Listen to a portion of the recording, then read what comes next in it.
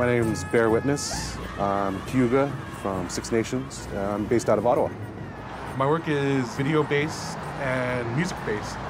So I work uh, with doing like experimental short videos, uh, mostly remix based. So I sample film, TV, any media that has uh, uh, representations of Aboriginal people.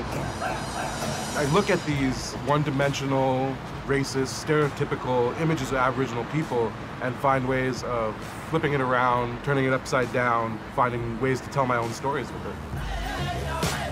The contributions of Aboriginal artists is huge.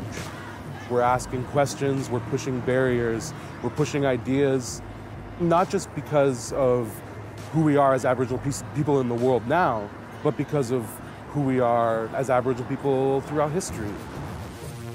What was really difficult for me first applying for grants is, I mean, I had a really hard time in school. I was in um, like learning disabled classes and stuff, and stuff like reading and writing are really difficult for me.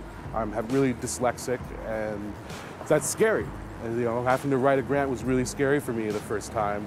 But what I realized after putting in that first grant was that I didn't have to be scared that I wasn't the best student or the best writer. Because as long as I could get my ideas across and have my, my support material and all of that, that, you know, the fact that my sentences weren't always correct didn't hinder my grant. Writing grants and receiving grants has only made me more confident in what I do. It's like getting a big gold star. Your ideas are, are good. And if you don't get your first grant, then re, you know, work, rework it, and, and apply again. I know I wouldn't be able to do what I do without getting grants. I mean, it allows me not only to create new work, but to explore my ideas and give me that time that I need to, to create my work and to better my work.